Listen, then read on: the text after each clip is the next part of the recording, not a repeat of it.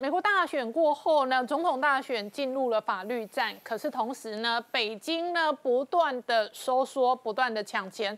那特别是哦，这一阵子以来，中国富豪哦，果然哦，富贵如浮云，这些钱呢会带来很多灾难跟风险。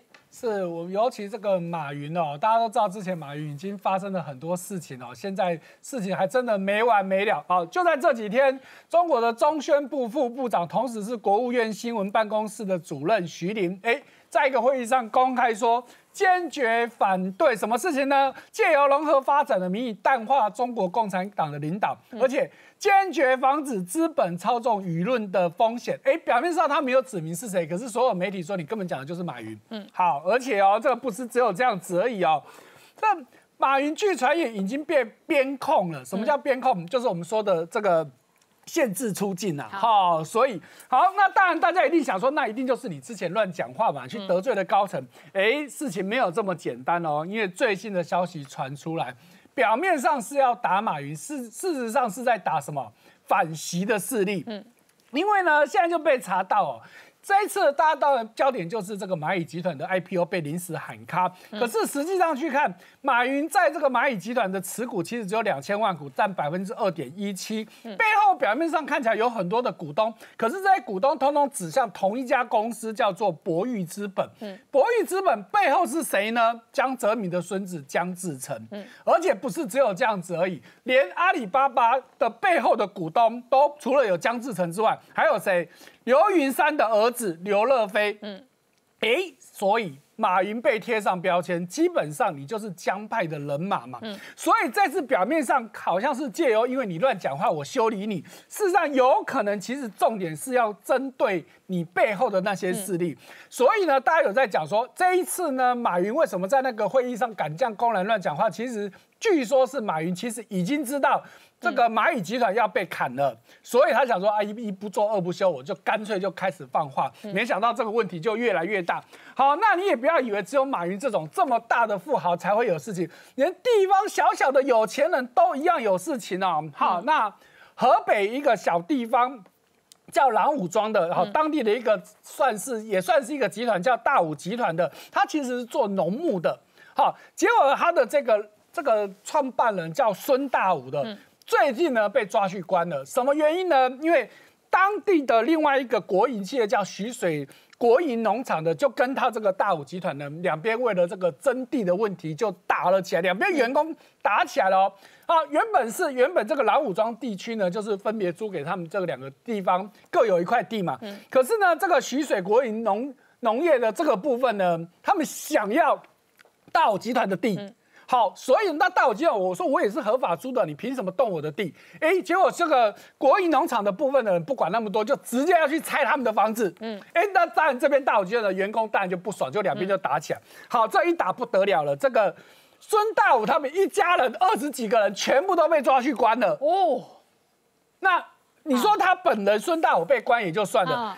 老婆叫刘慧茹，全身都是病，根本就是病恹恹的。结果居然说他有暴力性的的危险，所以把他抓去关。所以这个是现代版的抄家，真的，一抄二十多个。对，就他连他的老婆、女呃儿子、儿媳，通通都抓。问题是，你看他的儿媳。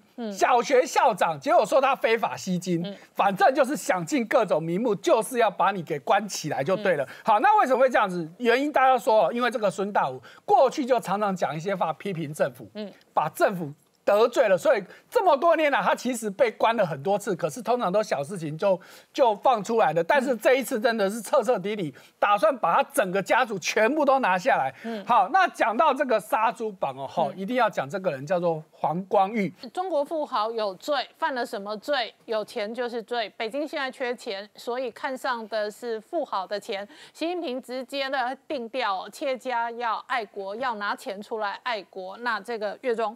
所以呢，很多时候这个呃有钱有没有罪，在台湾有钱的罪可能少一点，可能会被酸民酸。是，但是在北京，你的财富真的不是你的财富。没错哈，可能暂时借放在你那里，政府迟早要把你收回去的。好，刚刚讲到杀猪榜，什么是杀猪榜？它其实本来是胡润的富豪排行榜。哎。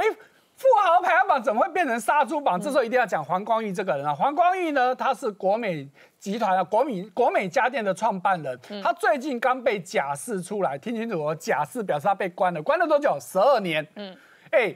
他其实当年真的是很厉害，尤其在二零零八年那时候，我们都知道办北京奥运嘛，他那时候还是这个火炬手领跑之一，哎，结果居然跑完没多久，他被抓去关了，而且一关就是十二年，本来是判十四年，提早两年让他出来哦。可是你说他到底犯了很什么罪？好，告诉你，非法经营、内幕交易、行贿等等，反正的一堆名义哦。好，那这个黄光裕其实真的很厉害，他十六岁就就进入社会，没什么念什么书哦，三十五岁就变成中。中国首富了，嗯，好，那胡润排行榜是一九九九年开始编制，他二零零四年是成为当时的中国首富，而且他一共有三年是中国首富。那当然，他在过去的这个他的产业扩张的过程当中，其实确实有很多争议，比如说低价抢市啊，或者是并购同业啊，是不是因为这样子去惹到了一些人，所以最后才落得这样子下场哦？所以呢，这个黄光裕啊，当年其实就讲了，嗯。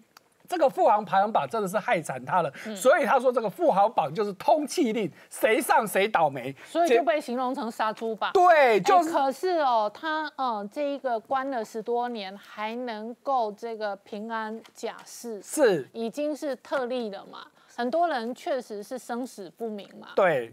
哎，确实也是，因为他虽然在监狱期间，可是实际上他还继续掌控这个国美国美家电，所以国美家电，因为他这个假释六月份他假释出来之后，那一天股价暴涨六十几趴。哦，好，哦，你就知道这真的还是有很大影响力，所以放出来也许有这样子的关系啊。好，所以现在的这些有钱人真的是。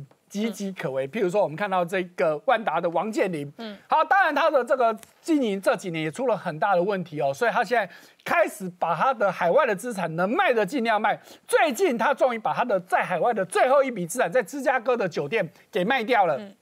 那卖掉这酒店大概拿了四十亿人民币哦，好，所以他从二零一八年以来，他在国际，他以前真的很厉害，在全世界很多国家都有他的产业，现在全部都卖光光了。那当然也因为他现在状况很差，所以他富豪排行榜现在已经直直落，以前是首富，现在排到三十名。另外一个也即将有问题的就是恒大，我们之前也讲到恒大，他现在负债累累，现在又被政府盯上，就是恒大汽车。刚刚前面我们在讲的，老王也讲了，现在电动车。美国很夯，中国也很夯嘛。那恒大他也要去搞电动车，可是现在被中国政府、中国的发改委直接点名说，你恒大真的要做是要做汽车吗？你你全中国圈地圈了十个地方，一共买了三百多万平的土地，可是实际上你根本没做车出来，有可能你实际上是要炒地皮。